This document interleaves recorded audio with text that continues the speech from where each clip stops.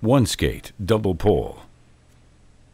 In one skate, the skier performs a double pole and recovery, first on one weighted glide leg, then performs a double pole and recovery on the other ski.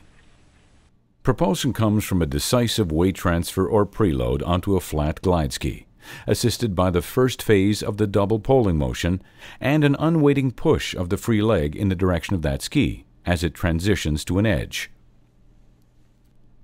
The second propulsive phase occurs when the hips, arms, and trailing free leg recover forward to the body center together.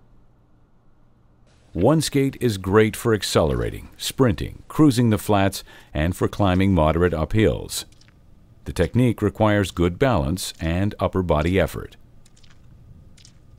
In one skate, the poles plant simultaneously beside and just ahead of the bindings, as the weighted leg preloads or compresses at the hip knee, and ankle, and then pushes off onto the other ski, which is now moving forward. The weight is immediately transferred to the new glide leg. The skier should feel on top of the glide ski in a perfectly dynamically balanced position.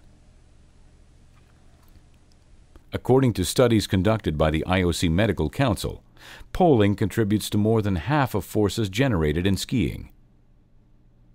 The path of the glide ski should start at the center line and continue as close to the intended direction of travel as possible. In slower conditions or on steeper terrain, you may concede a wider stance, in which case the skis will have to track more to the outside.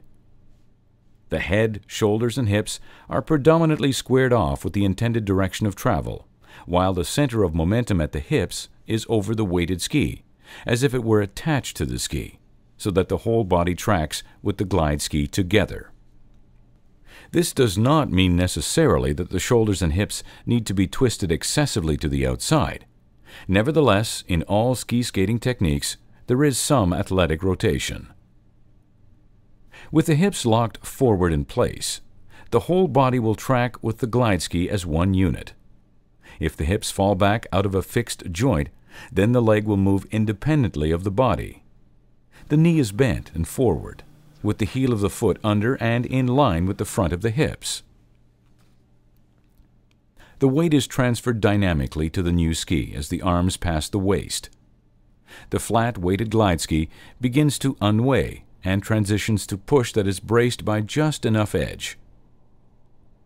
Again, the ski feels flat to the skier as it is directed under the hip during initial glide. In reality, the ski will appear to glide on an edge as the hill steepens. Again, the weight is committed forcefully onto the new glide ski, thus creating forward momentum that is encouraged by a double poling action.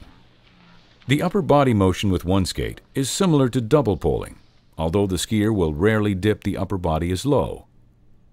Your weight drives the poles through the motion with the stomach, back, shoulder, and arm muscles progressively, the movement of the arms and legs are snappy and forceful, carrying through with full extension. To catch the correct timing of the next cycle, recover both the arms and the trailing leg forward back to the center together. The foot of the unweighted free leg should recover to a point just ahead of the binding of the glide ski on its way to the snow. There should not necessarily be a forced pause within the cycle, nor an unassisted glide phase for racing applications. The pole plant occurs as momentum is committed towards a new ski. Often this occurs when the legs are the closest. On fast terrain, the feet may come together momentarily. With the lower body, the skier should minimize the angle of the V made by the skis to what is strictly necessary. Although there will always be some twisting, rocking, and lateral movement in ski skating, more is not better if you are interested in speed efficiency. Avoid over-twisting and skiing from one side of the trail to the other. Overall movement becomes natural if the body is allowed to swing in a relaxed pendulum style. Just enough, but no more rotation facilitates an efficient push to the next ski. The leg push starts with a flexed knee and ankle and pushes in the direction of that ski, not to the back.